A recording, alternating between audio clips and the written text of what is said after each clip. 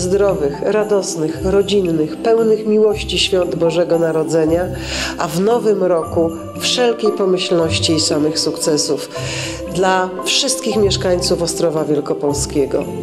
Ode mnie, od moich współpracowników, od wszystkich pracowników Urzędu Miejskiego.